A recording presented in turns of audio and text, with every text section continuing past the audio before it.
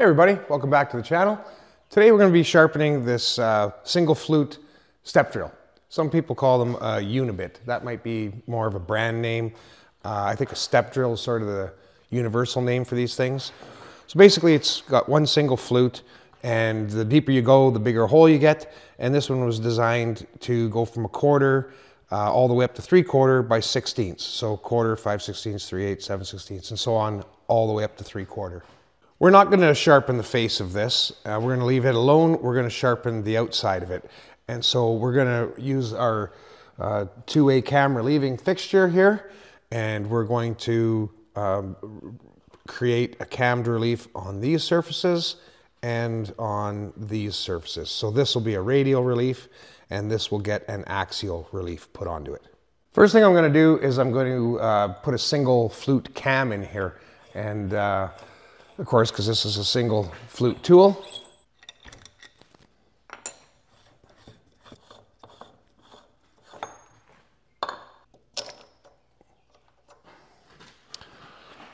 Uh, so that was a four flute cam I had on there. I'm going to put my single flute cam on. This is my single flute cam, uh, and I'm going to set it up for a right hand cutting tool, which is what we have here.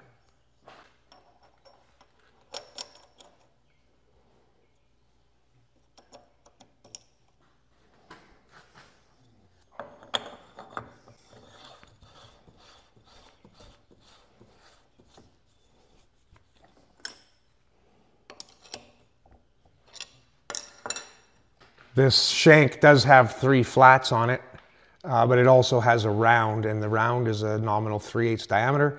So I'm going to use my, uh, my 3 8 inch 5ST collet to hold it.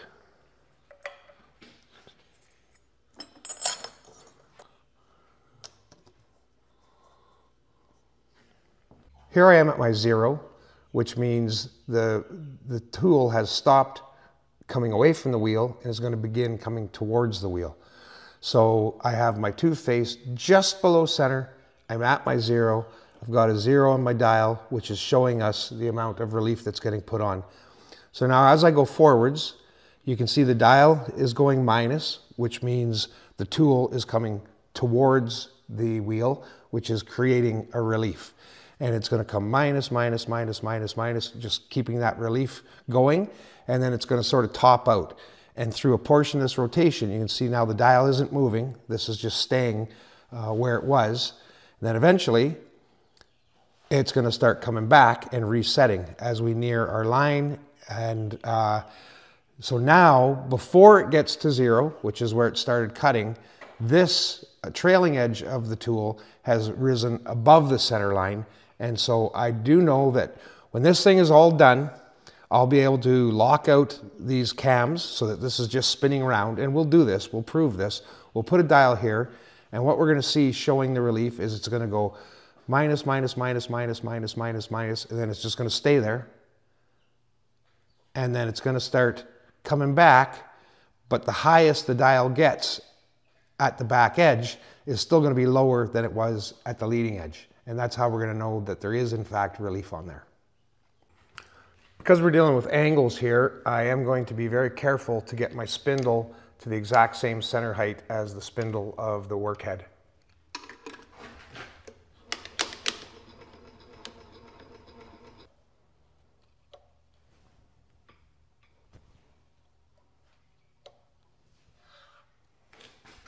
I have my axial travel locked out. So right now it's only traveling radially.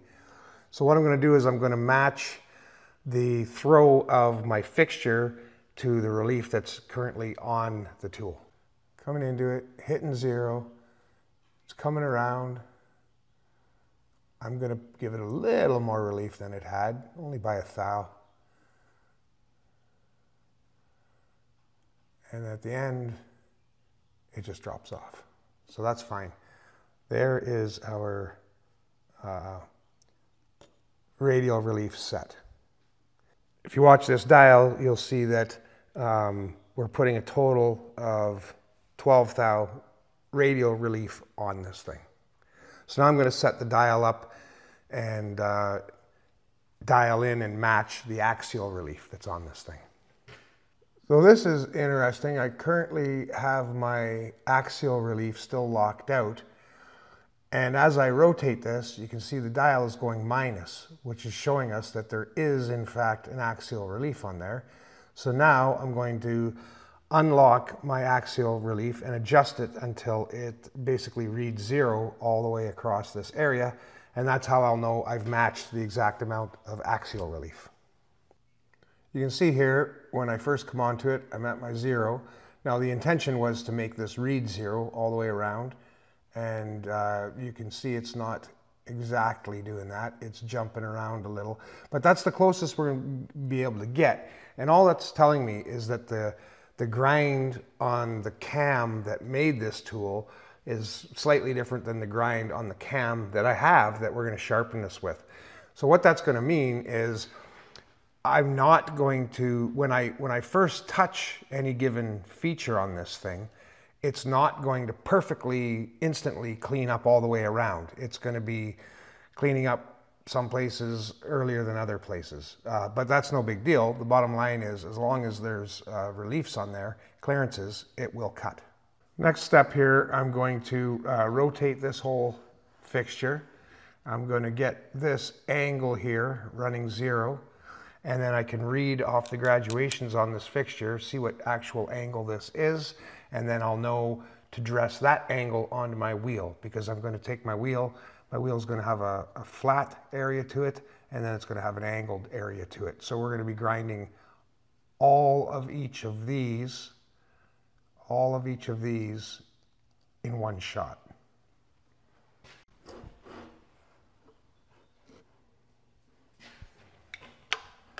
So here I am, I'm running zero on my dial here and I'm exactly at 45 degrees.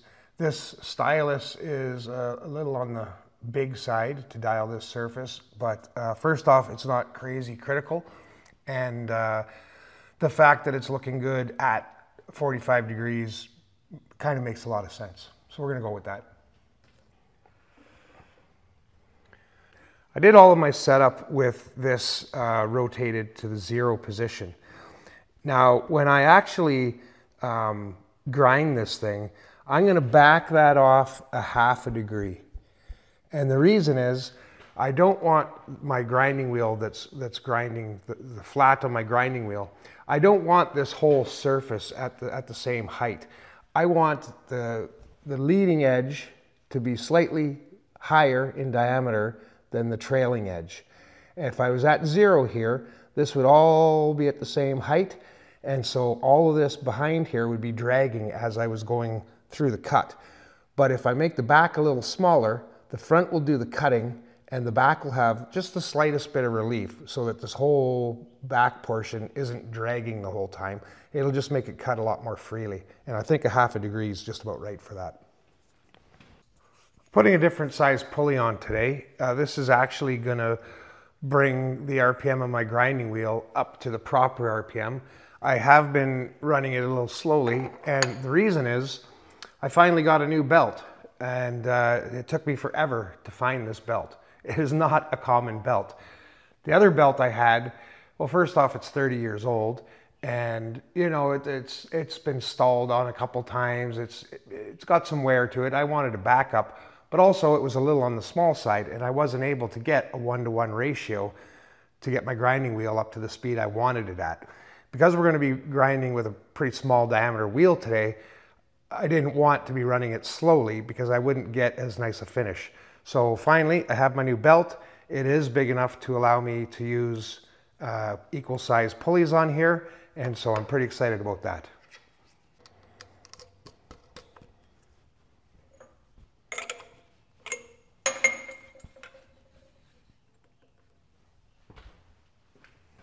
So I'm going to mount this wheel and I'm going to uh, dress it again 45 degrees and zero degrees, get it running true, and then you can see basically when we're grinding, it's going to be in there doing both of those surfaces like I pointed out earlier.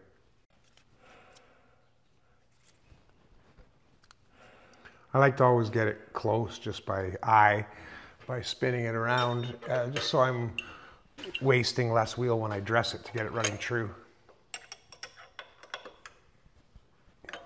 I'm gonna set this stop here so that my fixture can't get any closer to my, my, my spindle so I don't crash these two together. And that's just a little safety precaution there. Gonna rotate the grinding head now to the 45 degrees that I want to shape onto the wheel.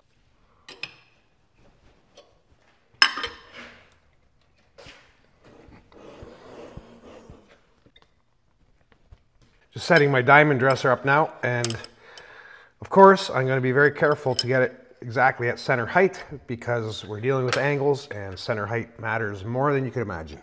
Got my wheel at 45 degrees, I have my diamond dresser at center height and I got my dust collector set up so we're going to go ahead and take a lick off this 45 degree angle on this grinding wheel.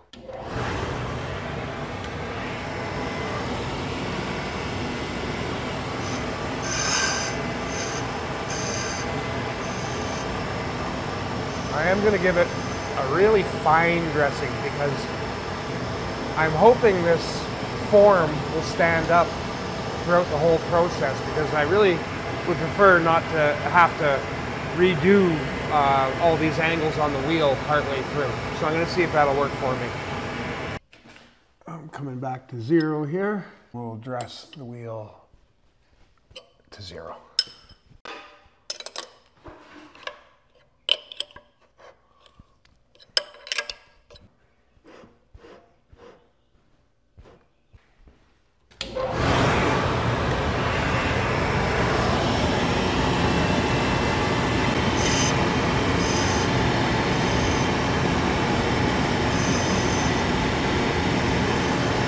Close to being set up here, I think the final thing before I touch off here, what I'm gonna do, uh, this machine's table travel has a high and low range. And this is the high range. It's, uh, you know, it, it, moves pretty abruptly. But uh, when I pull this out to low range, you can see I get much, much smaller movements out of this table now. And so I'm gonna touch off somewhere over in here uh, using my crossfeed handle and then I'm going to work my way in this direction until I engage with this angled surface here.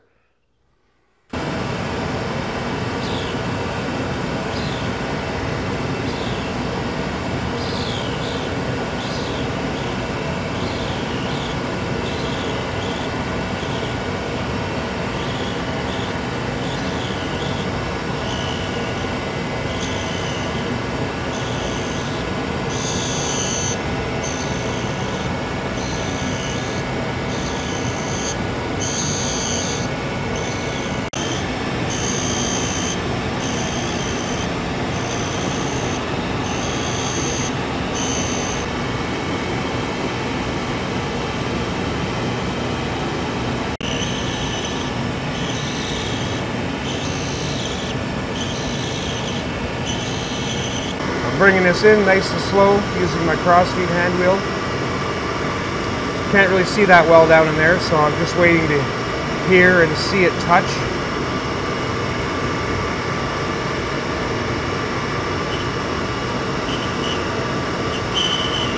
Starting to touch there now. Now I'm going to come with my table hand wheel, get into that 45 degree angle.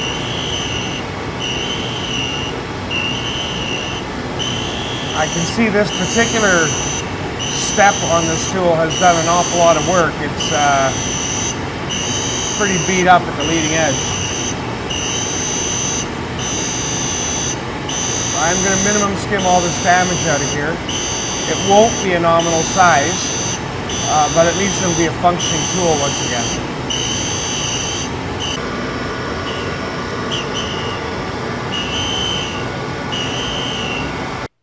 Now we're going to see, we're going to dial this and we're going to make sure we have relief on it. I have both my axial and radial travel locked out. So this spindle is spinning just round, perfectly round. And here we are, I've got my stylus right on my leading edge, dial set to zero. We should see that dial go minus, which is this direction, as soon as I start rotating it. And yep, there it goes, minus, that's our relief. Now it's topped out, we expected that, we saw that on the cam. Now what we do want to see is that we get we fall off of our trailing edge before that gets anywhere near zero and boom, it's happened. Uh, so that's perfect. That's just what we wanted to see. Here it is all finished up. Uh, we've got uh, we removed all that damage. We have a nice crisp cutting edge now. Uh, again, this is not going to cut nominal size holes, which is fine. We knew that going into it, uh, but it'll still be a useful tool. So that's it for this video, guys. I want to thank you all for watching. And we've got some regular viewers that uh, give us some really thoughtful and supportive and well thought out comments. And I, I really enjoy reading them. We both do. And uh, thank you all very much. You're, you're why we do this. And uh, having said that, inevitably, someone's going to point out to uh, me that they can buy this tool for $5 at Harbor Freight and they think it's silly that I'm sharpening it. So to that I say, you, my friend, are missing the point of my videos. See you guys next time.